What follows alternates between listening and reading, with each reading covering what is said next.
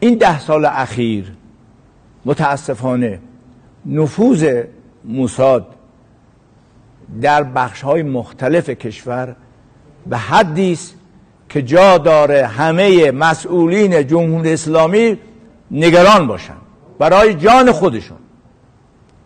متاسفانه سازمان های امنیتی و اطلاعاتی به جای اینکه اینها را شناسایی کنند به جان خودی ها افتادن.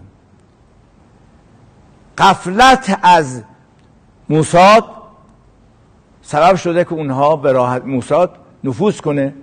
این همه ضربه بزنه.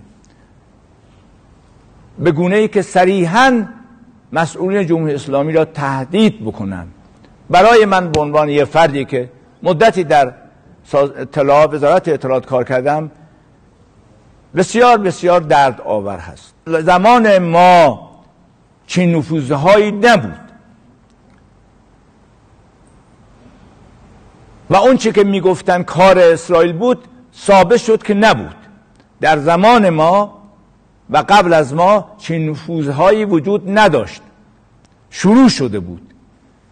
و اگر چنانچه اون مسیر ادامه پیدا می‌کرد حتما این اتفاق نمیافتاد. ولی بعد از ما به دلیل رقابت سرویس های اطلاعاتی من موازی کاری که در وزارت اطلاعات رخ داد و سازمان های جدیدی که در مقابل وزارت اطلاعات ایجاد شد وزارت اطلاعات را تضعیف کردن و اون سازمان های جدید و موازی وزارت اطلاعات به جای اینکه با نفوذ مبارزه کنن مشغول کنترل و مبارزه با خودی ها شدن. و میدون برای نفوذ برای سرویس های جاسوسی دنیا باز شد. و امروز ما حق داریم برای همه جا نگران باشیم. برای هر اتفاقی که رخ بده نگران باشیم. باید برگردیم به گذشته. باید موازیکایی پایان داد. باید رقابت را پایان داد.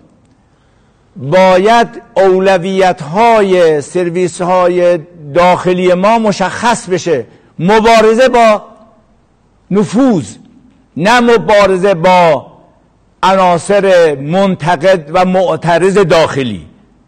الان اولویت برای خیلی از این سازمان های اطلاعاتی ما کنترل و مواظبت عناصر داخلی است. تا نفوذ دشمن.